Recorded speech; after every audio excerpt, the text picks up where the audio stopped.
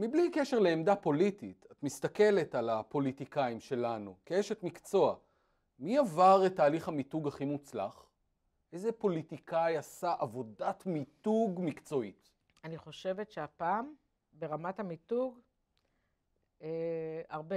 בואו נתחיל עם כחלון. כחלון מיתג את עצמו כשר אוצר. זהו, אני שר אוצר, אני שר אוצר, אני שר אוצר, ימין, שמאל, לא מעניין אותי, אני שר אוצר, אני שר אוצר, אני שר אוצר.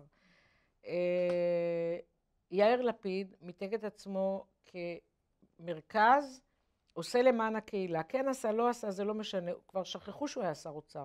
כאילו, הוא לא היה שר אוצר, כאילו כל הבעיות הן... אה, אגב, אני מאוד אוהבת אותו, אז... אה, לא, לא, אמרנו, מה שאני אומרת... אנחנו עושים ניתוח לא, מקצועי לא, עכשיו. אני לא, אני גם לא, לא, אני לא, אני לא נוהגת ל- לומר את דעת- דעותיי הפוליטיות.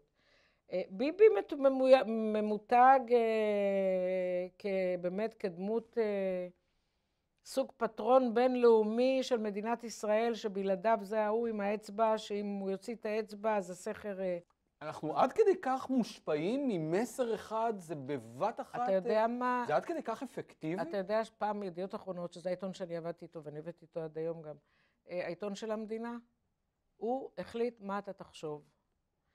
והיום החדשות מחליטות, העיתונאים מחליטים מה אתה תחשוב. צר לי, אבל זה מה שקורה.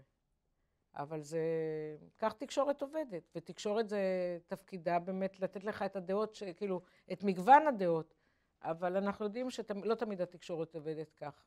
שאלה רק לגמור את הפוליטיקאים. בוז'י הצליח עם המיתוג של מדניג שהוא אולי בכל זאת יכול להחליף את ראש תראה. הממשלה? זה הצליח המהלך? עוד מוקדם מדי לבדוק, אני באמת לא בדקתי את ה... אה, מי שבא... בוא נאמר כך, אני אנסה להיות מאוד מאוד זהירה. אה, יש היום אי שביעות רצון ענקית ממוצר אחד, ואנשים מאוד רוצים לנסות את המוצר השני. אבל אין להם מספיק, למוצר השני אין מספיק אמינות, הם, לא פוחד, הם פוחדים לקחת את, הפית, את הכפית לפה.